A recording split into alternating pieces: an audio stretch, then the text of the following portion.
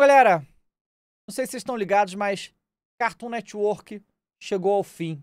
O histórico, lendário canal de desenhos, assim, muito importante para minha vida. Foi onde eu vi Dragon Ball Z, né? Foi onde eu, eu assistia diversos animes é, que tem franquias históricas como Laboratório de Dexter, Meninas Superpoderosas, Coragem ou Cão Covarde e zilhões de outras, tá? Muito importantes chega ao fim. Tá aqui, ó. Hora da Aventura. Nossa, Hora da Aventura maravilhoso. E o que, que vai acontecer, galera? O Cartoon Network, que há 30 anos opera como órgão independente, será fusionado, tá? Com a equipe da Warner Bros. Animation. E as especulações são que suas produções sejam muito reduzidas.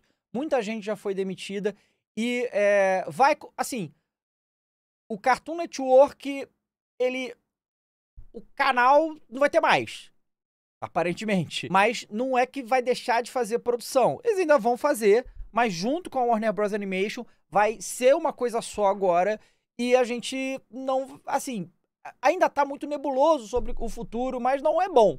Porque se fosse, eles iriam falar. E não falaram. Então, assim, você sabe como é que são essas empresas, né? Eles morrem de medo do que o, os fãs vão dizer. E aí, né, mostra que é o seguinte, ó. Há alguns meses o anúncio da fusão entre Warner e Discovery chamou a atenção no mercado e começou a levantar rumores sobre o futuro dos canais.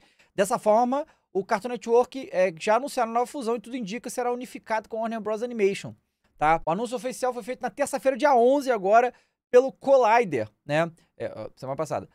De acordo com o portal, o motivo é o realinhamento estratégico. Dessa forma, os dois estúdios de animação serão unificados e as produções serão lançadas como uma só. Ainda assim, é esperado que a fusão traga uma redução dos projetos do Cartoon.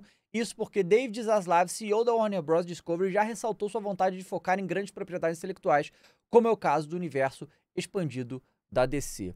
E aí, provavelmente, nós vamos ver uma redução nesses é, desenhos aí que todo mundo curte pra caramba e é o fim de uma era, né, galera? Galera que tem 30 e poucos anos, como é o meu caso, cresceu junto com o Cartoon Network, né? muitos desenhos históricos, né? E agora, uma pena. F no chat aí pro Cartoon.